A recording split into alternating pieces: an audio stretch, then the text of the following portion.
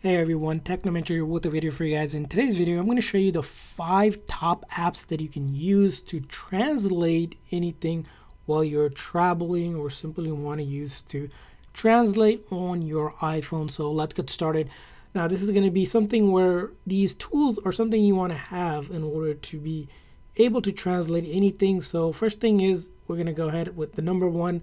It's going to be the built-in Apple's Translate app itself. It's already on your iPhone. If you didn't know, it allows you to go ahead and translate the languages available here.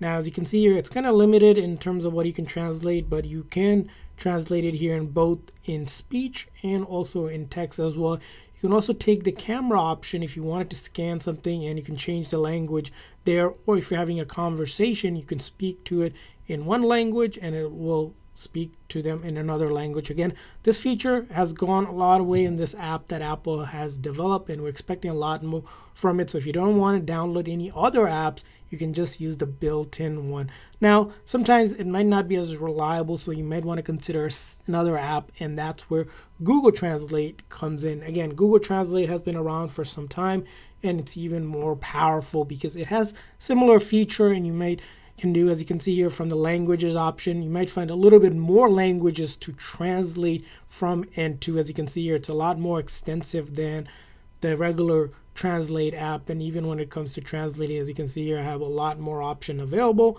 And you also have the conversation mode. You just allow the access mic and you also have the camera mode as well. You just have to allow the access and you can use your camera to point at something to translate it as well. So all of the features that are available on apple's translate google already also has it as well and it has a little bit more languages for you to do. So those are going to be probably the two top apps that you're going to be utilizing. Now if you want to go a little bit further to get another app you might consider something like a translator. This is another popular app that can be used as well if you find this to be a little bit more easier to use for some people. As you can see here we can translate to different languages available. Just in case you couldn't find the language from the other one you can try this one as well.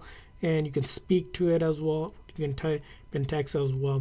Moving on to the next one is iTranslate. Again another app some somewhat again useful in terms of how you are able to do some of the dictation. And as you see here this app does require you to pay if you want to, but there are freer options if you don't want to. Just say you don't, and then you'll have the option to go offline mode as well. It can detect languages. You have the same thing as the camera option that's available for you. You have the voice as well, and then the phrase and other as well. Another app to consider if you didn't like the other one app. And then there's another translator app, what's called Translator with Speech. This one's a little bit more focused in terms of being able to do more around the speech as well. Here, there is a little bit of ad on this one that you'll have to deal with, but again, this one works well as well. But if you really wanted to go down and check these apps out, again, for each purpose, it's going to be slightly different. On the App Store, you can find these.